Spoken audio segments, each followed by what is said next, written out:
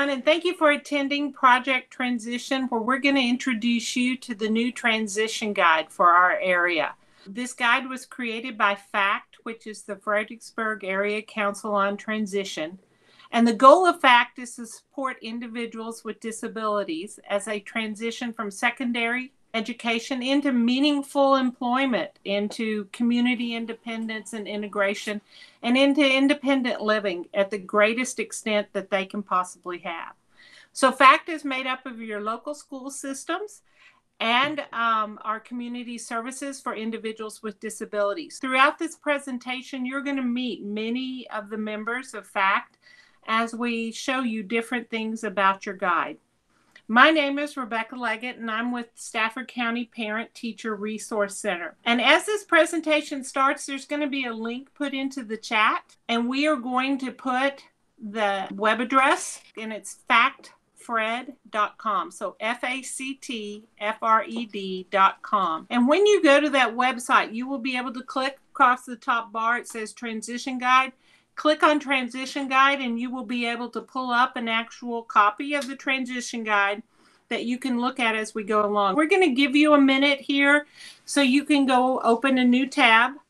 Open that up so as we go through, you can look back and forth. If you have another device, you'd like to open it up on that other device, we'll give you a moment to go get that device and get that open. You can always download this guide and print it off. It is quite long but always remember as you go along, the most up to date copy will be available right here on our website. For the history of what is the transition guide, many years ago, we realized as a group of fact, and many of us parents of kids with disabilities, that there are so many times we sit in meetings, and especially when our kids start hitting that transition age, and we hear about these are things you need to think about. These are agencies you're going to be talking to. These are things you need to be doing. You get home from those meetings and you think you wrote good notes. You think you remember what you're supposed to do. But two weeks out, a month out, you're like, wait a minute. What agency was I supposed to contact? What was that information they gave me on guardianship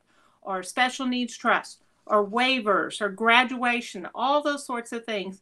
So we quickly realized that we needed something that we could have as parents and families and, and people working with individuals with disabilities, where it was a one stop shop, basically, that you could go and you could get all those little pieces of information. So if you forget it along the way, that's okay because you've got this transition guide to help you find those resources that you need. And it's always going to be at your hand and available for you to help you find what you need out of all of that knowledge and what we did, this, this transition guide has um, been developed.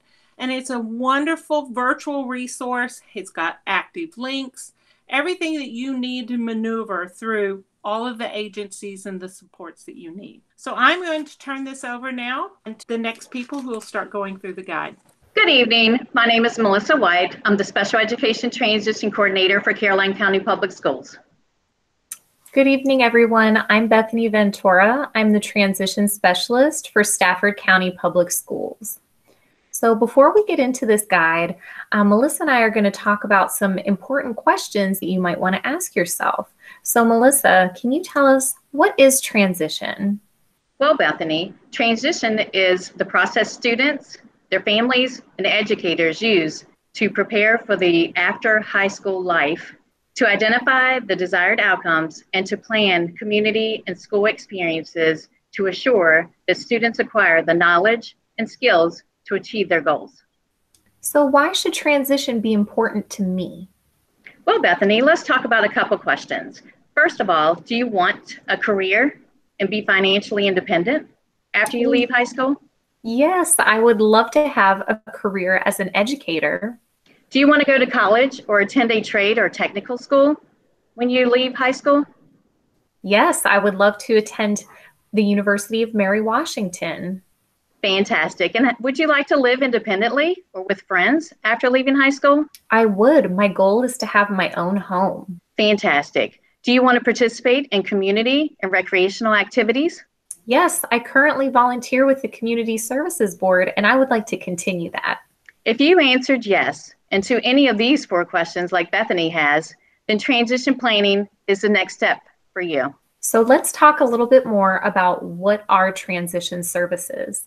The Individuals with Disabilities Education Act of 2004 defines secondary transition as a practical guide to life after leaving high school. Transition planning should be focused on academic achievement and functional performance to facilitate participation in post school activities such as continuing education, career and technical education, employment, adult services, independent living, and community participation. You'll learn more about what this looks like for you and what resources are available in your community as you review this guide. Thank you, Melissa and Bethany. Hello, and thank you so much for joining us. My name is Courtney Seeley, and I'm the teacher facilitator at the Spotsylvania County Public Schools Parent Resource Center. I'd like to take you through the transition guide and show you how to navigate it. Our guide is located on our website at factfred.com, though we will be happy to provide a hard copy for any participant that requests one while supplies last. Please keep in mind that the transition guide on the website will be the most updated version. This guide is easily accessible on your phone or mobile device and keeps all of these resources at your fingertips, no matter where you are. To make it even easier to access, you may want to bookmark our website on your computer or mobile browser. The first part of the guide that you will want to explore is the table of contents. You will see the topic headings in green that provide general information about each topic, as well as a section titled Resources for Transition, which provides more detailed contact information for agencies and organizations that can provide additional information and assistance. These links will take you directly to the section of the guide that you need to access. And when you are done with a section, you can click on the words at the bottom of each page, back to the table of contents to be taken back. You'll see these words at the bottom of each page in the guide. For example, if you click on age of majority, you'll be taken directly to page six, where you will find information about your child's transfer of rights when they turn 18, information about supported decision making, as well as a brief description about guardianship and other alternatives. If you want to learn more, click on the links in each section. They will take you directly to the website or document where you will find that information. Supposing you want to learn more about guardianship specifically, you can return to the table of contents and click on guardianship to learn more.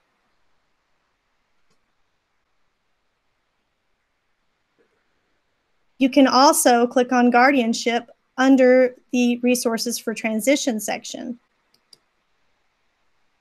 And that will take you directly to organizations that can give you more information and assistance with guardianship. All right, um, click here on Selective Service to learn more about the Selective Service System.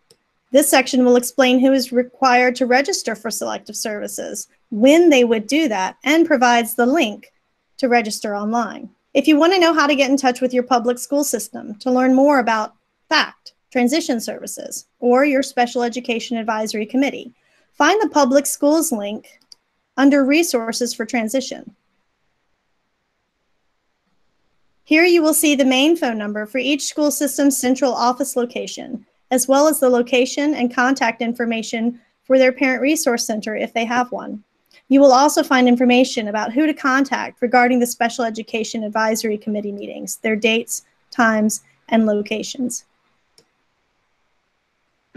And with that, I'm going to turn this over to Kim. Hi, I'm Kim Lett, and I'm from the Disability Resource Center in Fredericksburg.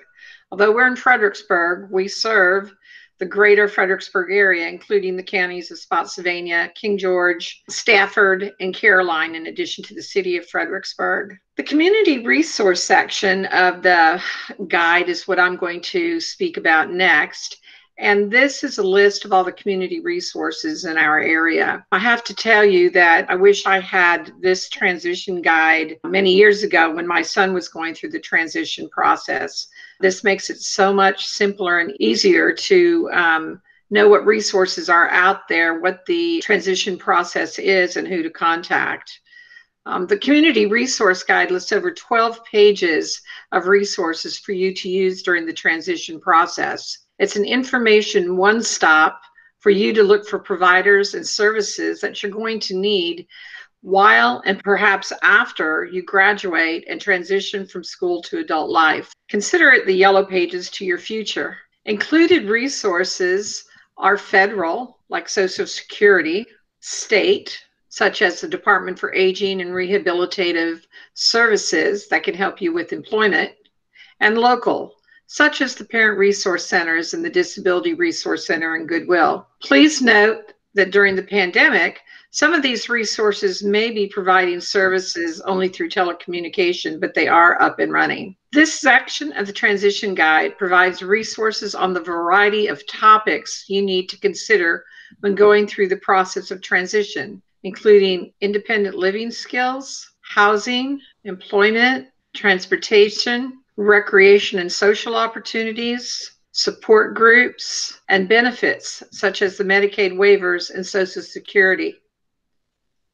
All the resources are listed in alphabetical order by the organization or agency's name, and they include their addresses, their email addresses, their websites, and phone numbers. A brief description of what each agency or what each organization does is included. From A to Z, Providers are here to help you move into the adult world. And now here's Jessica to speak about the important timelines you need to consider as you move forward in your life. Thank you, Kim. My name is Jessica Weber. I manage the day program at Rappahannock Goodwill Industries.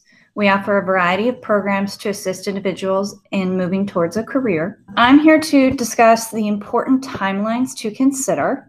And I would like to reiterate, as Courtney pointed out earlier, the age of majority section.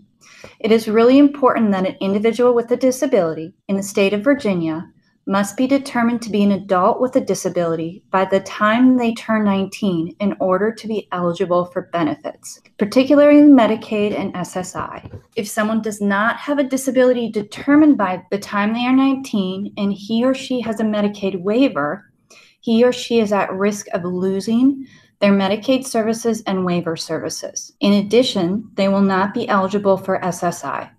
So it is really important to reach out to programs and benefits your child is interested in pursuing early to learn about the process and gather documents to qualify. As a program referral processor at Goodwill, I can tell you the best advice I'd heard from parents is to create a binder or a drawer to store items over the long term so when you do apply for different programs, you have easy access to your child's paperwork. Things you might want to save are things like their ISP or disability documentation. As your child grows older, it's important to meet application deadlines as highlighted under this area. It is really important that if you are seeking the developmental disability waiver, the wait list is extremely long and it is important to act quickly and as early as possible. The waitlist is not based on chronological order, but on need. So it is important to reach out to local community services board to begin this process. You can do it as early as birth. As your child grows older, other important deadlines include things like guardianship, where if you determine your child needs a guardian, it's important to process this four to six months before the child turns 18 as a person who is a referral processor at my organization, it often surprises parents that if they don't have the guardianship paperwork, I need to talk directly to the child and get their permission to do things, not the parent. So if you need that paperwork, don't forget it. In addition, a special needs trust is extremely helpful, but like any investment, early contributions lead to bigger savings. If your child is a male, registration for social service is to be completed 30 days prior to turning the age of 18. And finally, supplemental security income. Last but definitely not least, at age 18, a student must apply and their parents' income will no longer be considered. As you navigate this enrollment pathway, please keep in mind that many of these organizations have adopted shorthand names for many resources in this reference. So while you might feel like you're eating alphabet soup sometimes listening to these lectures, it is very important to reference this guide as a quick tip. For example, earlier Kim spoke about work opportunities and organizations. The Department of Aging and Rehabilitation Services is often referred to as DARS. I'm going to pass it on to Susan. Hi, I'm Susan Gale. I'm the Special Ed Parent Teacher Resource Coordinator for Caroline County Public Schools at the Parent Teacher Resource Center. Let's look at some activities that are going to be hosted by the Fredericksburg Area Council on Transition that are in the works for the upcoming months some upcoming virtual sessions in the 2020-21 school year. We're calling these our Pathways to the Future series. So we're going to start off with January. On January 11th, 2021, a spotlight on agencies. These agencies that will, that will be included are the Disability Resource Center, the Rappahannock Area Community Services Board, Rappahannock Goodwill Industries, Department of Aging and Rehabilitation Services. And after each of those sessions, they're going to have a question and answer time so that you will have live staff answering your questions. That's scheduled to be on January 11th, 2021 at 1 p.m. or 6 p.m. You have a choice of two times. Then in February, February 6th through March 26th, the Parent Education Advocacy Training Center is going to be hosting the Transition Univer- University Series. Registration opens on December 1st, and that will be listed on our website for um, factfred.com. Then on February 10th, 2021, we will have a Region 3 Full Life Ahead session. You will see more information posted on that in the upcoming months. In March of 2021, we will have a session on waivers, Medicaid waivers. On April 13th, 2021, there will be a session on guardianship at 1 p.m. and 7 p.m. And then either in April or May of 2021, we'll have a session on special needs trust. So, how will we find out more about these webinars and workshops? Where will you find them at?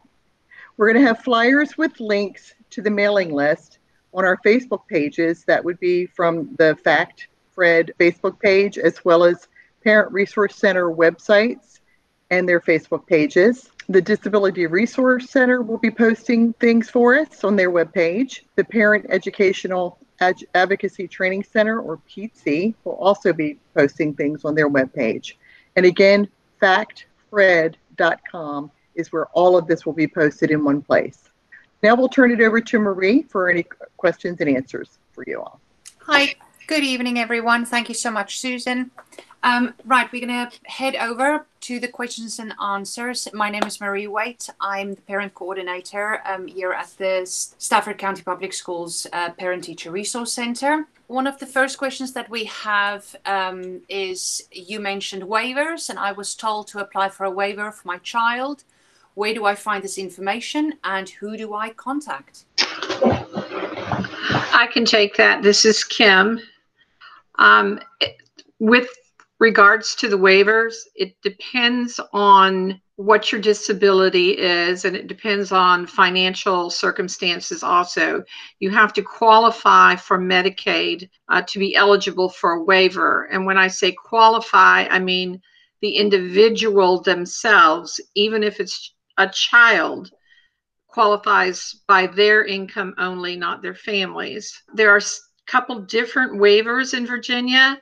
And so, in order to know where to go to apply for one, it would depend on what your status is with regards to your disability. So, my recommendation would be to call Tenny Gratz. She's a Virginia trained Medicaid mentor. She works at the Disability Resource Center with me, and I would call her, and that would be at 540 373 2559. I will ask, also add that the March training that FACT is going to do on Medicaid waivers, uh, Tenny will be doing that, and she confirmed the date to me uh, for March the 11th. Excellent. Thank you so much, Kim.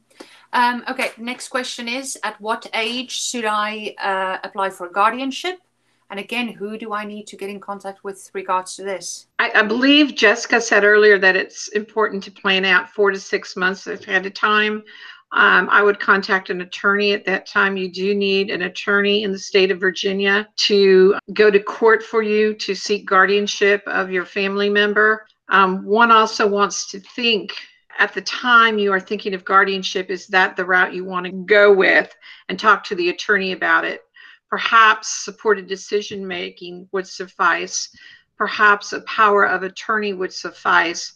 Perhaps a limited guardianship will suffice. So these are different things that you want to talk to an attorney about so that when your child does turn 18, if you are going for guardianship, you have a court date for when they turn 18 and can go to court and assume that guardianship right after they turn age 18. But it's important to discuss this not only with the lawyer, but also um, the individual in which you are seeking guardianship over. I'd also like to add, as we're talking about under important timelines, um, the guardianship paperwork is one of those really valuable pieces of paper. It's usually one or two pages to keep in your reference drawer because organizations will ask for it over and over again during the transition phase. Excellent. Thank you, Jessica. Okay, next question is uh, My son wants to get a job after high school. Who can we contact to help with this process? How can I help my high school graduate find social activities after high school? If you are looking for work after high school, you really want to start with the Department of Aging and Rehabilitation Services. It is frequently called DARS. Um, they often have a wait list, so I will highlight that. It's important to get in there early so that your child can be assessed, and then they'll help them on a pathway, whether they need a job coach or they need to try some different work areas and then might need to gain some more work readiness skills before they can get that job. Thank you. Uh, next question Can we tour programs in the community while my child is still in high school? I can also help with this question. Um, I will tell you at Rappahannock Goodwill, we encourage parents and children in high school to give us a call. We'll give tours of our programs and actually we'll accept people in some of our programs as early as 18. We have some students who will work a few days or volunteer a few days while they're still in high school so that they kind of start that transition before they officially graduate. If my child is looking for sponsorship because I think he will need in building work readiness skills, what waiver should we be looking at? I can help with this question as well.